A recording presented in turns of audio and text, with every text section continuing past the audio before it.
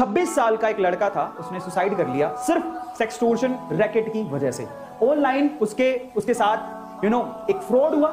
हम लोग उसको फ्रॉड ही कह सकते हैं। उससे सेक्सटोर्शन सेक्स की यानी इंटीमेसी की वजह से कुछ वीडियोस कैप्चर हो गई और उसके बाद उससे फिरौती मांगी गई और फाइनली ये बात इतनी ज़्यादा बढ़ गई कि उस लड़के ने सुसाइड कर लिया अब इस वजह से मैं राज़ी हुआ। इस वजह से मुझे लगा कि आज मुझे इसके बारे में बात करनी चाहिए। और वो लड़का बेंगलोर का था और वो लड़का जिसका नाम अविनाश था वो आईएएस की तैयारी कर रहा था। अचानक से क्या होता है, उसे फेसबुक पे एक रिक्वेस्ट आती है, नेहा नाम की लड़की की। ठीक है, आप नाम पे मत जाइएगा बट धीरे धीरे रिक्वेस्ट आती है, बातें होने लगती हैं। उसे नहीं पता था कि जो लड़की की रिक्वेस्ट आ रही है, उसके पीछे एक रैकेट काम कर रहा है। धीरे धीरे बातें होने लगती हैं, बातें और बढ़ने लगती हैं धीरे धीरे और क्लोज आने लगते हैं। एक वक्त ऐसा आता है कि वो लड़की बेंगलोर की नहीं थी। समझ रहे हो? वो कभी मिले नहीं एक दूसरे से।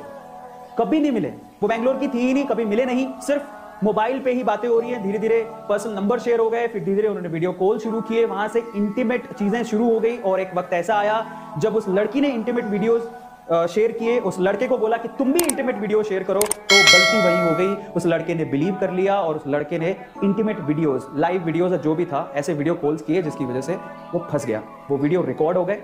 कुछ दिनों बाद वो लड़की गायब और लड़की के पीछे जो रैकेट काम कर रहा था, उसने अब उस लड़के को परेशान करना शुरू किया। उसने वो वीडियो फॉरवर्ड किया और कहा कि आपने अगर इतने पैसे हमें नहीं दिए तो हमें वीडियोस आपकी फैमिली को भेज देंगे या सोशल मीडिया पे डाल देंगे। डर के मारे क्योंकि हम इसके बारे में बात नहीं करना चाहते ठीक है? इट्स नॉट एक खाना खाया इट्स अबाउट इंटीमेसी शेयर की है जो कि इंडिया में एक टैबू है। इसके बारे में लोग बात नहीं करते जनरली ठीक है?